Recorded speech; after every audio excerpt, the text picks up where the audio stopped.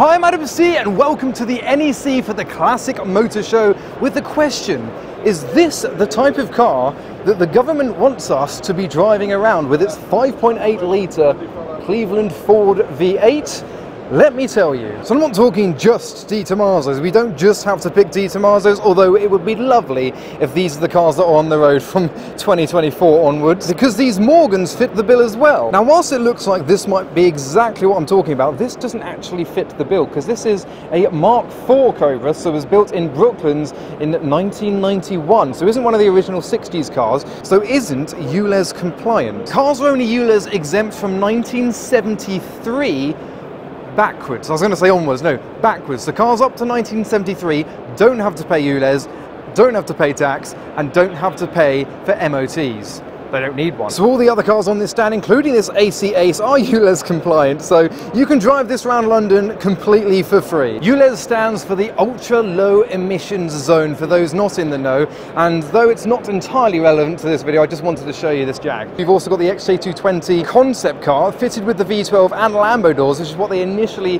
had intended to have when built. So we'll leave the XJR9 behind and find some of the cars that you're not going to believe Sadiq Khan allows you to drive around London completely free of charge. Now this SL again doesn't quite fit the bill, I just wanted to show you it because it's very cool. But let me tell you about MOTs. A car doesn't need an MOT if it's over 40 years old and that rolls forward each year. However, that is void if they've done extensive work to the car's body, chassis or engine such as fitting electric motors. So what they've done is they've made this car go from an un-MOTable car that was maybe tax exempt before to still tax exempt because it's electric, but now needs an MOT. It's all wrong. So this is the electric classic car section, and they do just that. They turn classic cars into electric vehicles to ready them for the future. But as we've been finding out, some of these cars are already ready for the future because you don't need to pay tax, you don't need to pay ULEZ, and you don't need to MOT them already. So why turn a pre-73 car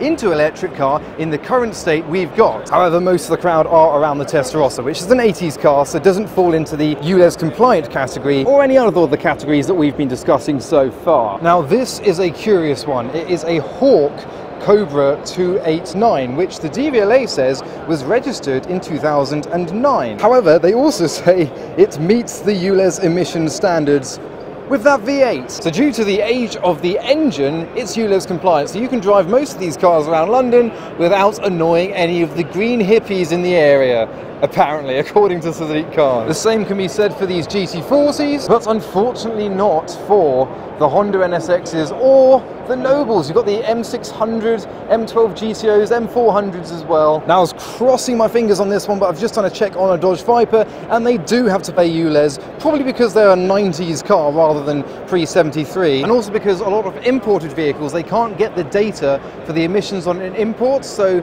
because of that, they're just straight away, no, you're not compliant. So my Chaser cannot drive into London without the £12.50 ULEZ charge. And remember folks, if you want to drive around an accurate replica of the Porsche 917K, you do not need to pay the ULEZ charge. Now let's talk about tax. So, tax works similar to the MOT exemption, so it's the 40-year rolling rule.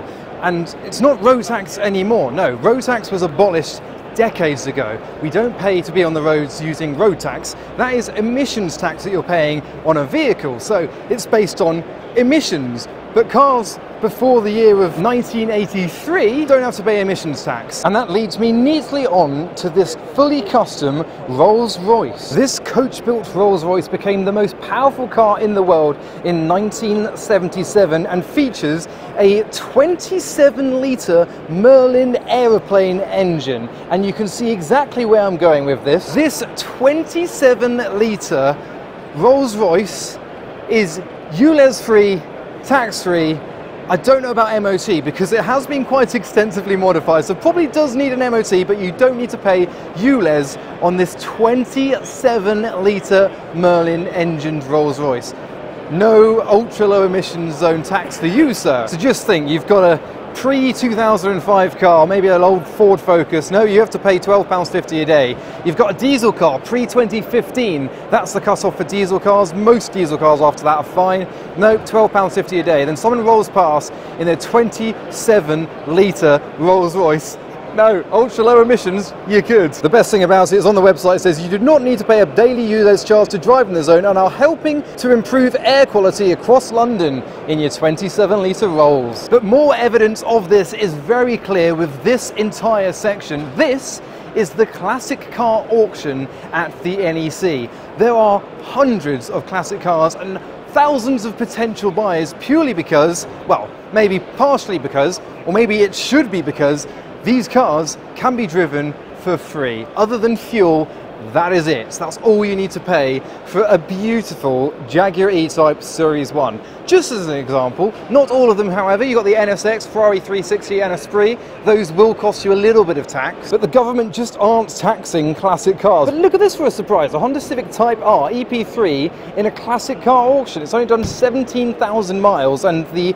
estimate is between 10 to 15,000 pounds. And even a James Bond Aston Martin Vanquish whose rocket has fallen off. The chassis number even ends in 007. It's the seventh of seven UK press cars promoting the film. But this lineup of cars pretty much sums up most classic car auctions. Sierra RS Cosworth, Ford Capri, Ford Escort RS Cosworth, Ford Escort Series 1 RS, Ford Sierra Sapphire Cosworth, Ford Escort Mark 1, Ford Escort RS Turbo, Ford Escort RS 2000, Ford Focus RS Mark 1, Ford Escort RS, Ford Sierra RS 500 Cosworth, Ford Sapphire RS RS, Ford Escort RS Cosworth Rally Car and the Mark 1 RS 2000 on the end, to name but a few. But I know what you're all wanting to know. Is Shrek ULEZ free? Well yes he is because he's a pre-1973 vehicle. And most of the time if the beach involves London, which all of them don't, you don't have to pay the ULEZ in a beach buggy. But whilst this whole video seems like a bit of an annoyance to our mayor Sadiq Khan, I'm going to move on from this massive mother quacker and on to the Japanese section. Not a lot of the cars in this next section will be ULEZ compliant or tax-free or MOT exempt, but I'll try and find some and some other cars that I know that you guys are going to love. But before I do, a final hurrah, we have a Dodge Charger which is ULEZ compliant. And all of these hot rods including this 100E Ford Popular with a large 5.7 V8 which are all ULEZ compliant, a 32 Ford Coupe with a 4.6 litre V8 which is ULEZ compliant, another V8 in this Ford Cabriolet which is ULEZ compliant. And Dougie Lampkin doing stunts next to a Skoda Fabia which is not ULEZ compliant. So figure that, if you've got an old 2,000 pound car from 2004, you can't drive it in London without paying £12.50. What you need to do is buy an older car with a 5, 6 litre V8 with far worse emissions, but that's the ultra low emission zone compliancy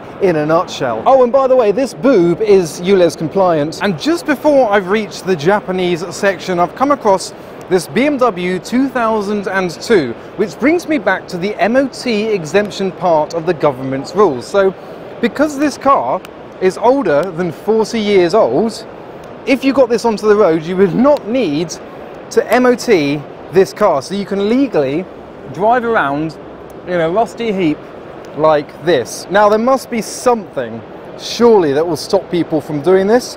But that's why it seems so bizarre that the cars that need an MOT the most, the over 40 year old cars, are the ones that are like, nah, they're exempt now. Because you used to have to. I still have done for my MGB, but still getting MOTs to this day, but you don't legally need one. I think it would be recommended to get an MOT, and if the police did pull you over and the car wasn't roadworthy, they could take it off you. So there is that, but it's just weird. Who benefits from the MOT exemption? But the wait is over. I'm going to save you from any more ULEZ rants just so I can show you the Japanese section of the show. Welcome to the end of your life and I promise it's going to hurt. Well, that's not very pleasant. Let's spice it up by seeing what else there is. We have a Subaru Owners Club and then on to the Celica Club with one of the most modified cars we've seen so far today. Check out the wide arches on the Celica. Then over to the Skylines with the C110 2000s GTR concept replica race car next to an R33 GTR. Got the Hakosuka next door as well, and an R35 GTR beyond that. This one is the motor car that we saw at Adam Seafest this year, There will be one next year, details to follow very shortly. Next up, we have the 300ZX Owners Club with their V6 twin turbo on display with absolutely no room to play with in that engine bay. And they bring us neatly on to the Honda S2000s, which are just opposite the Nissan 300Cs. Next up in the darkness, we have a collection of four FD Mazda RX-7s, an assortment of three Datsun Z cars, and finally the section I've been wanting to show you the most at this show, the Mark IV Supra Owners Club. We've got a twin turbo straight six example, automatic, a twin turbo Aerotop, which is also automatic, and you might have noticed in the corner the Tom's Castrol livery on a Mark IV Supra widebody. This is a custom widebody kit that was fitted by Goblin Works. My good friends Helen and Ant had a big part to play in this car. It had a previous livery, which you can see on the information board here, but now it's just been meowed at and is beautiful in the Castrol livery with the wide arches, replicating the car that you all know and love from Gran Turismo. That is outstanding. It's literally only just been finished. This is the first time it's been seen, and this will be going to plenty of the shows in the country next year, hopefully at Adam Seafest as well. If it does, I'll put it on a pedestal at the show in the top 25 section. Take a look at that rear end of the Castrol Supra. This is road legal as well, that's just been completed with this gorgeous livery definitely a highlight of the show as well. Again, another automatic example. They're very quick with the auto boxes and drag races actually favour the auto box in the Supra. There you go, the three quarter angle of the Castrol Mark IV Toyota Supra. But that was the NEC Classic Show for this year. Let me know which out of all these cars might be your favourite, whether it even be the RWB 993 Cabriolet. See, there's at quite a few events, always a crowd favourite. So uh, that's the ULEZ scam, I mean tax, I mean scheme that Sadiq Khan has set up for all of us that live near London. Who knows where it will next expand to. So I hope you enjoyed that video from the NEC. Go follow me on all my social channels for the updates, highlights and pictures that I take at meets like this and more. But for now, thanks for watching.